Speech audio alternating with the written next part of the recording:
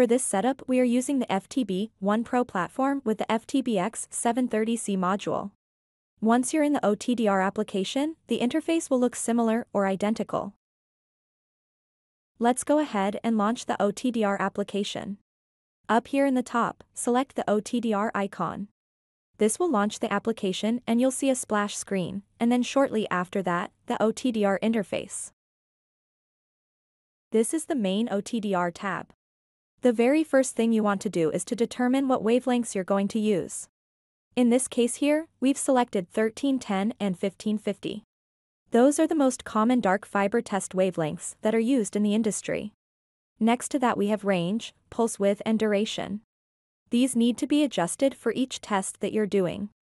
In this case you're going to do a quick auto test based on the duration, and you're going to use 30 seconds typically for most of your testing. Of course, this value will adjust depending on your needs. If you're doing very high count fiber where you want to minimize the test time as much as possible you can reduce the duration somewhat, just as long as you don't start losing the quality of your result, so it's really a bit of a balancing act there. If you're in a maintenance situation, where you're looking for trouble where you really want the best resolution possible then you'll increase the duration up to about 60 seconds, or more to allow for that noise to clean up to give you better results. And so, at this point you're going to check and use 30 seconds. Then next to it you're going to see the auto button here so you're going to select that auto button. You'll notice that range and pulse will now gray out. We're going to auto range and pulse width based on a 30 second test. Another thing you want to make sure of is that your launch cable is nulled out. In the bottom right, please click on the three dots. Up here is where you'll input your launch fiber length. In this example, the launch fiber is 150 meters. With the pigtail it works out to be about 160 meters. If you don't know your launch fiber length, simply plug it in and run a quick test and then write down the distance of that launch cable itself. In this case it is already set. Hit OK, and from here if you just want to get quick results you'll go and hit start up here in the top right. Of course, you want to make sure to inspect and clean your connectors and use a launch cable.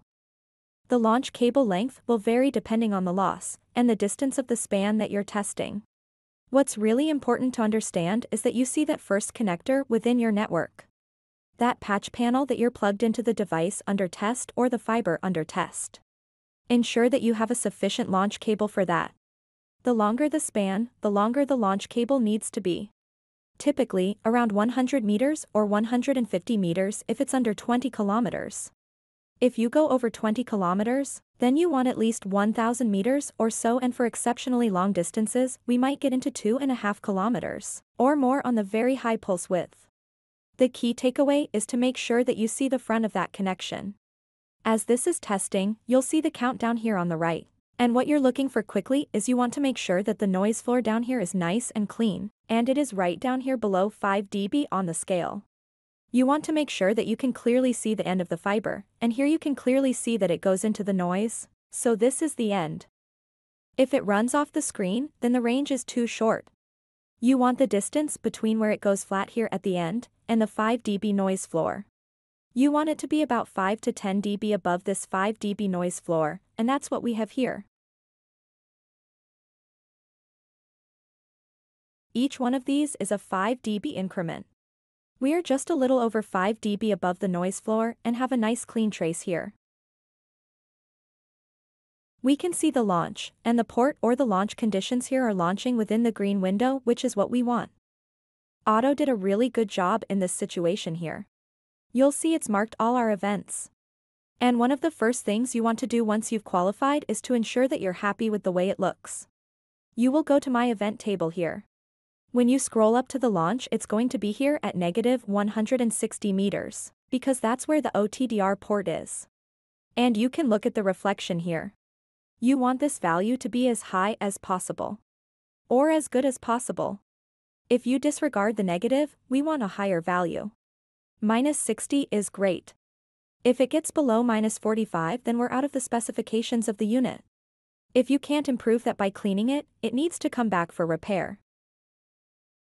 If you're happy with the result, you just go and hit save. And that's just a quick way to do an OTDR setup.